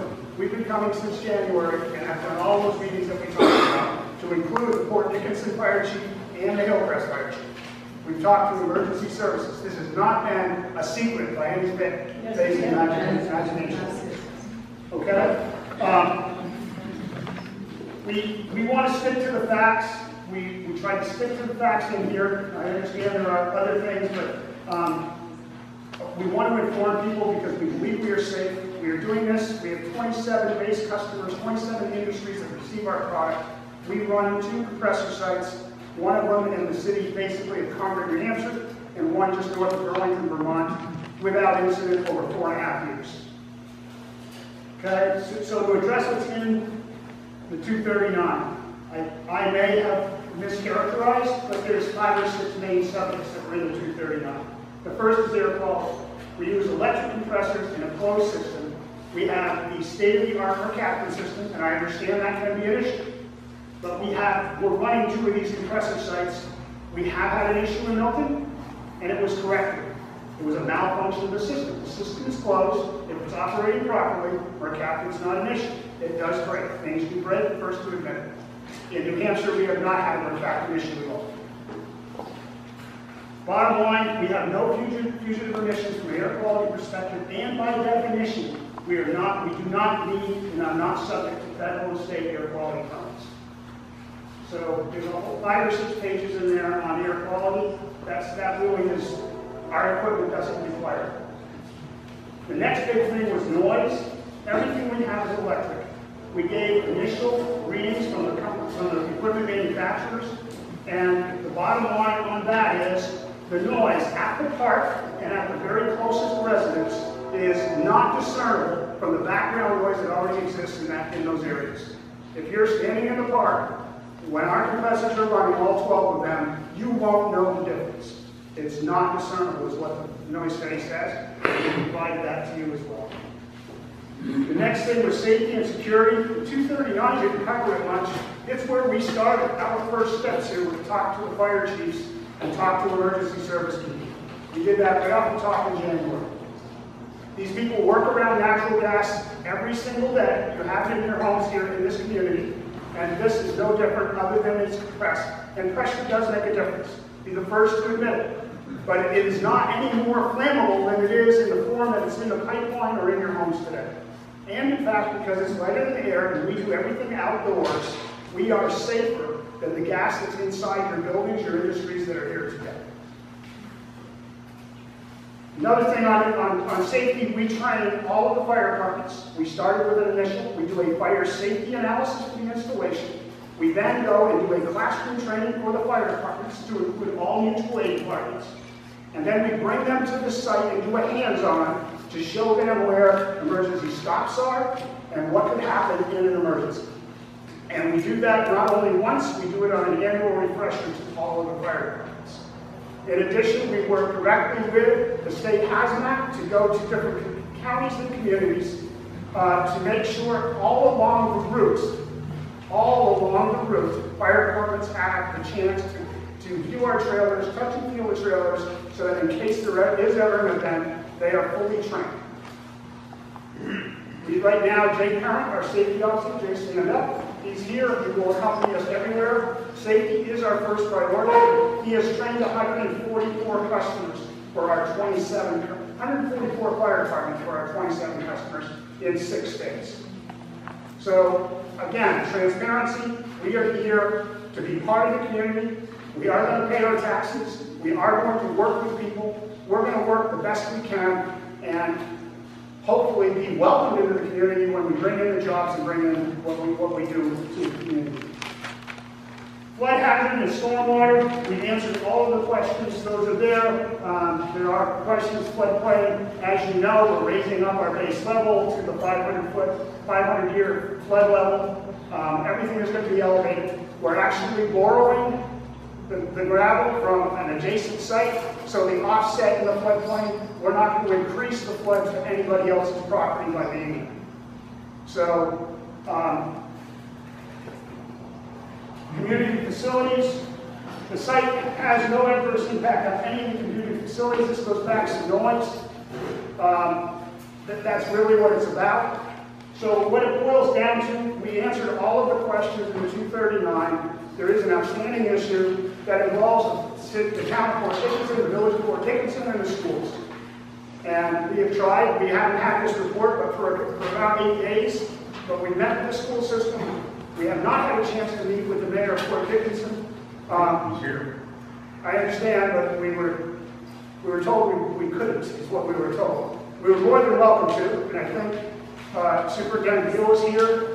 We, we, we did come and talk to Superintendent Gill on a couple of occasions. We are not trying to force anything down anybody's throat, and we're willing to work with people to try to make it work. As far as the roads in Port Dickinson, you have trucks and trains in Port Dickinson today that are significantly more dangerous than what we're going to do. Fully, that, that is a fact. You can talk to any emergency service person. They would tell you they'd rather have a truck of our gas going through than a truck of gasoline or propane. However, I understand there's a weight limit issue. That's really about the structure of road. We solve some of our school problems, and we're, we're in a dilemma here. We, we don't want to offend the school. We want to work with the school to be as friendly and as community friendly as we possibly can be. But Port Dickinson at this point told us they can do it. By the way, the route that was chosen for us was chosen by DOT and the town of Fenton. We didn't come into the community and say, we're bringing trucks down this road, we're going to throw them by the school or throw them through Port Dickinson. We went and we asked the questions, and we were told to take this route. So we're, we're back, we're backstepping, we are, but that really is the only issue that is left on the table after you read all of our comments, is how do we get in there and how do we get out? I think getting in is pretty much solved, those are our empties, most of the time. We'll be coming from the east to the west, and we're gonna come off on two, it's a direct across, and if anything, it's in flow with buses, and should have very little impact on the current traffic problems at that intersection or have any conflicts with buses. So the real question is, how do we get out of there? And again, we're trying to find a solution. We're not here to slam things down people's throats. Okay? I have a question. I have a question, if I can quickly ask. Questions or not? I have a question I would like to ask. Are you putting any gas in the pipeline in New Hampshire or Vermont? No. I said Reveal, reveal that.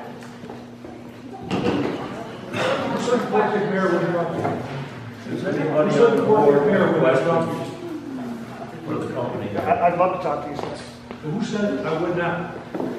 We were told, we were told, Again, who? I, I- I'm not, I I may have said that, but we were told not to talk. Somebody said we're not talking. Yeah. No, I'm- Okay, question time is over. We're going to take questions from the board to the company. Okay, Jason, do you have any questions? You alluded to working with the routing concerns by the school district. That's an ongoing process. Full I'm part of the Chenango Valley School Board, so this does hit home for me. However, I can support your project. So as long as you're still continuing to work with the school district to address that, I do appreciate. Thank you, Jason. Rick, do you have any questions? Um, Two, two comments, I guess. One,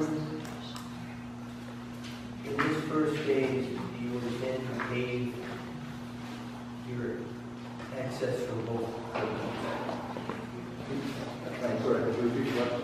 When we discussed this some time ago, there was discussion about the maneuverability of vehicles on site to the uh, loading areas and then back onto the surface road. Uh, comments in the 239 associated with why are these curb cuts so wide? The reason the curb cuts are so wide is basically because the service road is so narrow. We've got cruiser barriers on one side, we've got no shore on the other side. In order for these folks to get on and off the road, a requirement for some large curb cuts.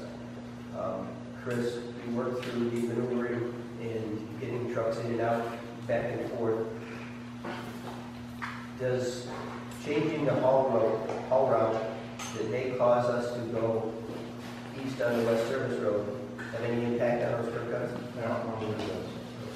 The other two is software from New York State I'm sorry? The other two is software from New York State It's on the model. One of the concerns too that we expressed through the whole process here was we were looking forward to any tracking of materials back onto the service road that the town is responsible for maintaining. And uh, Chris and I had a discussion a while, a week or so ago, associated with the extent of paving and what I'll call phase one. And so my question, I guess to you folks directly is, in this phase one, are you willing to see to it that we have pavement both curb cuts? And pretty much all of your operation will occur on pavement? Yes, I can, I can certainly do that, but we, we are planning on building one on paper tonight. And The working discussion, the working discussion here is about costs in phase one, of um, the things we need to. Um, So, to answer your question, the answer is yes, if we change that in phase one, we will come back to with, that change and what exactly we want. Okay, that's a working discussion at this but at the moment, the plan is to pay everything on. Thank. Second, second point, uh, we've had a lot of comments from folks tonight associated with noise. And um, recognizing that if there is something that's close to continuous filling as these trucks are coming and going over time, and what becomes ultimately background noise. Is there, or are there pieces of equipment or different means to reduce that noise level other than what comes with that stock compressor? yes, you can use it down if it's necessary. Is, is there an opportunity, should this become an issue downstream, and and folks are coming back to what's associated with that, to reduce that decibel level by a few? That's suggested, yes. So that opportunity does exist, in fact we have potentially some concerns down the road. And We're happy to get that word on, if if that's a condition. We're we're comfortable with that. We're comfortable with it. That's all I got. Don? Um, The vehicles themselves are diesel engines. Where do they refuel them? Uh, We haven't chosen, well, I say diesel engine, we haven't chosen a a vendor yet to do that. That's part of the process that we can't do until we have private. We can't go hire 50 drivers until we know we can build it. So, but we do have an RFP and we are working, working with local companies who provide fuel um, delivery already. So, now again, in the long term, we may even want to fill these vehicles with the same natural gas. That would be the smartest. If this natural gas is so good, how come you don't run your trucks on it? That's what Perry keeps on asking. That's what Perry Company does, how they get these fuels. And and ultimately, we have been trialing some CNG tractors. The problem in the past is that the tractors haven't had enough hold for the, for, for the eighty thousand pound load. But now the technology is finally catching up. And so with the new, with the new tractors, the tractors we've been looking at, we can reach the same speeds and the same load rate. Kevin? No, I don't think I do. Uh, These people here ask some really good questions that really ones I would worry about. And Pat, you got anything? I think I do. I, I've had to read through the two thirty-nine, uh, response from the county. and Something came down, with the statement from the proposed project about the local, the situation. And that looks like that, uh, trucks may be on road and back up to a service road. road, uh, which, you know, causes me some, some concern. Uh, you mentioned that we're looking into, uh, share anything with us, what are the kind be scheduling so that the trucks aren't gonna be at that intersection at There is. eight o'clock in the morning or After the Port Dickinson con, uh, comments, and I believe the superintendent of schools comments, DOT addressed the two thirty-nine comments and offered a solution, but said, work it out amongst the towns.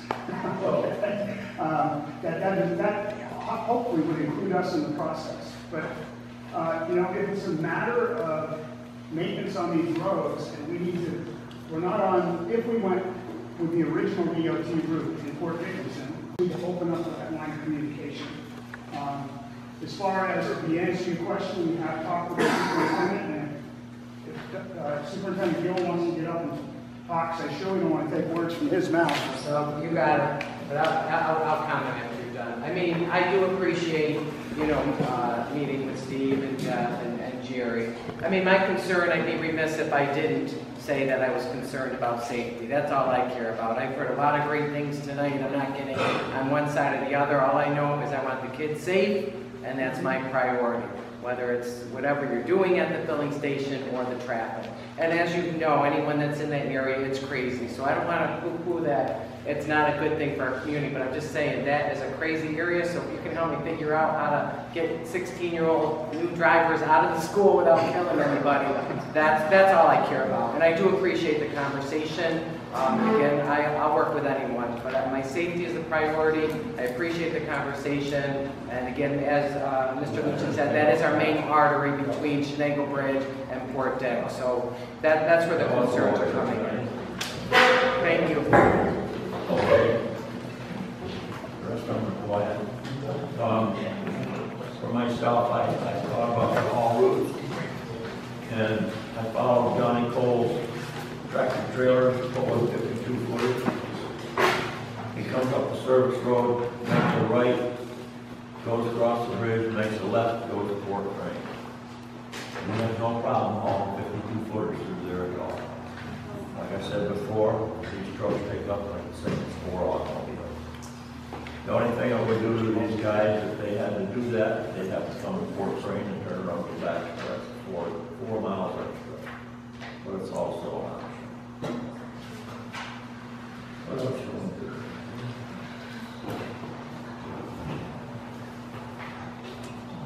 Now, you still down there?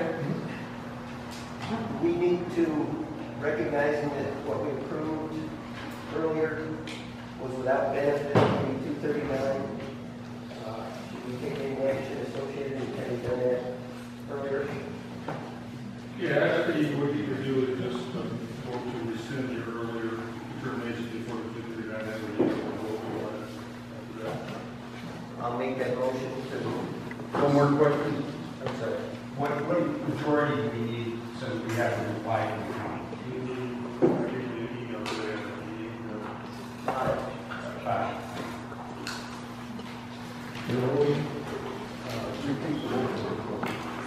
going to move to rescind the approval that was made prior meeting contingent upon thirty-nine review. Do I hear a second, or rescind that? I'll, I'll second that, I the reason it. Question? Melanie, call the roll. Mr. Randall? Aye. Mr. Mullins? Aye. Mr. Keel? Aye. Mr. Standard? Aye. Mr. Armstrong? Aye. Mr. Aurelio? Aye. Mr. Eldred? Aye.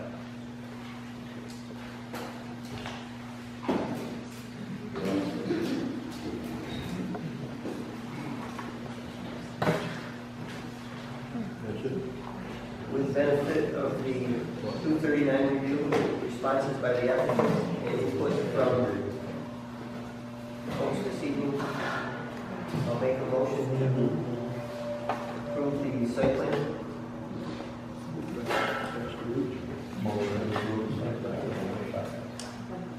I'll second it. Question? Melanie, call the roll. Mr. Randall? Aye. Mr. Mullins? Aye. Mr. Keel? Aye. Mr. Standard? Aye. Mr. Armstrong? Mr. Aurelio? I have to abstain because I am part of the Chenango